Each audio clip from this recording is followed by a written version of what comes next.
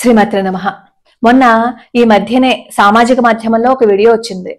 గణేష్ చతుర్థి రోజున ఒక అమ్మాయి డాన్స్ చేస్తుంది. షూ వేసుకుని టీ షర్ట్ వేసుకుని గణేశుడి ప్రతిమ ముందు డాన్స్ చేస్తుంది.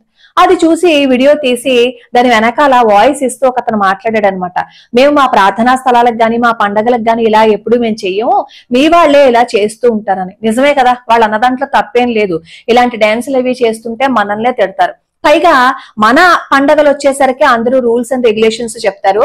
అలాగే మన పండగలు వచ్చేసరికి మన వాళ్ళు కూడా మీరు వస్త్రధారణ ఎలా వేసుకోండి పండగలకి ఇలా జరుపుకోండి ఇలాంటివి వాడకండి సినిమా పాటలు పెట్టకండి అని చెప్పి మన వాళ్ళు మనకి చెప్తారు. ఎందుకంటే మనకి ఏవి తెలియదు కాబట్టి మనం మన పెద్దవాళ్ళు చెప్పింది వినము అలా చెప్పేవాళ్ళు కూడా మనకి లేరు కాబట్టి మనకి ఏ గుడ్డు తెలియదు కాబట్టి ఇలాంటివన్నీ చేస్తూ ఉంటాం. అందుకే ప్రతి వాళ్ళు మన పండగల గురించి అన్ని చెప్తూ ఉంటారు. ఒకటి గమనించి చూడండి ఎప్పుడైనా ఎక్కడైనా పరాయి మతస్థులకి వాళ్ళ పండుగలు వచ్చినప్పుడు వాళ్ళ ధర్మాన్ని ఇలా పాటించుకోండి. మీరు సంప్రదాయ దుస్తులు వేసుకుని వెళ్ళండి. మీరు ఇలా ఉండండి అలా ఉండండి పండుగ ఇలా జరుపుకోండి అని చెప్పడం ఎక్కడైనా విన్నారా? వినరు. మన హిందువుల్లోనే ఇలాంటివన్నీ జరుగుతాయి. ఎందుకంటే ఈ పరాయి మతస్థులు ఏం చేస్తారు అంటే చిన్నప్పటి నుంచే వాళ్ళకి నూరు పోసేస్తారు. వాళ్ళ ధర్మం గురించి వాళ్ళ మతం గురించి అన్ని నూరు పోసేయడం వల్ల ఏమవుతుంది అంటే వాళ్ళకి అన్ని చిన్నప్పటి నుంచి జీర్ణించుకుపోతాయి అనమాట ఆటోమేటిక్గా వాళ్ళు అలాగే చేసుకుని వెళ్తారు.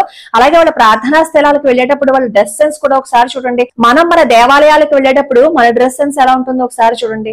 సంప్రదాయాన్ని పాటిస్తే ఆ ధర్మం విలువ పెరుగుతుంది. ఆ ధర్మం ఎప్పటికీ నిలబడి ఉంటుంది. మనం మన సంప్రదాయాన్ని కాపాడుకోకపోతే ఎప్పటికైనా సరే మన విలువల్ని మనం కోల్పోతాం. మొన్న ఐదో తారీఖున ఒక పాఠశాలలో ఒక కార్యక్రమం జరిగింది. ఆ కార్యక్రమంలో ఒక చిన్న పిల్ల చేత డాన్స్ వేయించారు ఆ స్కూల్ యాజమాన్యం.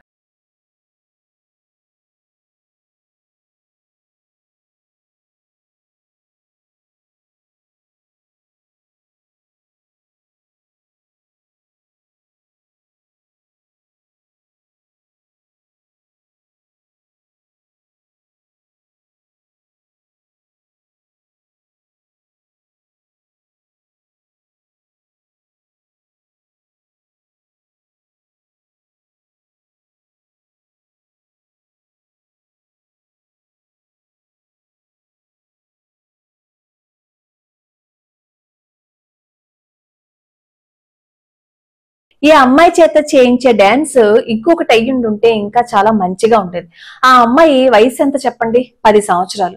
అందులోనూ ఇది ఏదో ఐటెం సాంగ్ అంట. ఆ అమ్మాయి చేత ఆ డ్రెస్ వేయించి అందులోనూ అక్కడ జరుగుతున్న కార్యక్రమం ఏంటి ఉపాధ్యాయ దినోత్సవం. స్కూల్లో నలుగురు పెద్దవాళ్ళు వస్తారు నలుగురు తల్లిదండ్రులు వస్తారు. వాళ్ళందరి ముందు ఆ అమ్మాయి చేత ఆ బట్టలు కట్టించి ఒక ఐటెం సాంగ్ని ఆ అమ్మాయి చేత చేయించారు చూసారా? అది కరెక్టేనా అసలు? స్కూల్లో మనం నేర్పించవలసిన విలువలు ఇవేనా? దీనికి బదులుగా తనని తాను రక్షించుకోవటం ఎలాగా అని లేదు అంటే ఇంకా ఇంకా మంచి కార్యక్రమాలు లేవా? అలాంటివి చేయించుంటే ఇంకెంత అద్భుతంగా ఉండేది. అలాగే నలుగురికి చూసావా? పలానా స్కూల్లో ఇలాంటివి చేయిస్తున్నారు ఎంత బాగుంటుంది కదా అని చెప్పి అనుకుంటారు. ఇప్పుడు ఈ పాట వీళ్ళు చేయించబట్టే కదా ఇదంతా వైరల్ అయిపోయి అందరూ తిడుతూ కామెంట్లు పెడుతూ ఇలా చేయించచ్చా? పిల్లలకి ఇలాంటివి నేర్పించచ్చా అని అడుగుతున్నారు. మనం ఇంకొకరికి రోల్ మోడల్గా ఉండాలి తప్ప మనం ఇంకొకరి చేత చెప్పించుకునే విధంగా మనం ఎప్పుడూ ఉండకూడదు. ఈ పాటని ఆ అమ్మాయి చేత చేయిస్తున్నప్పుడు తల్లిదండ్రులకి కూడా తెలిసే ఉంటుంది కదా ఈ పాటకి చేస్తుందని చెప్పి. అప్పుడు కనీసం తల్లిదండ్రులైనా ఇలాంటి వాటికి చెయ్యకమ్మా అని చెప్పి ఉండుంటే బాగుండేది. ఇకపై ఇలాంటివి రాకుండా ఉంటే మన విలువల్ని మనం కాపాడుకుంటాం. మనల్ని చూసి విదేశస్తులు మన సంప్రదాయాన్ని నేర్చుకుంటున్నారు. మనమేమో విదేశీ సంప్రదాయాన్ని నేర్చుకుంటున్నాం. అలాగే పాటలు వినండి. పాటలు వినంగానే ఇది మెలోడీ ఇదేమో ఏడుస్తూ ఉంటుంది ఇది చాలా సంతోషంగా ఉంటుంది అన్నట్లుగానే ఏ ఇది ఐటెం సాంగ్ కదా అంటారు. ఒక కొన్ని కొన్ని పాటలు వింటుంటే. అంటే ఆ దృశ్యాన్ని చూడకపోయినా సరే ఆ పాటలో ఆ అర్థాన్ని మనకి స్ఫురింపజేసేటట్లుగా కొన్ని పాటలు ఉంటాయి. ఆ పాటలకి స్త్రీని మాత్రమే అక్కడ నృత్యం చేసే విధంగా పెడతారు. ఐటమ్ సాంగ్ అనగానే ఆడపిల్లల్ని ఎక్కువగా చూపిస్తూ ఉంటారు. ఐటమ్ అనగానే ఆడవాళ్ళే కదా వాళ్ళకి గుర్తుకొస్తుంది. అంటే అమ్మాయి ఒక ఆట వస్తువా?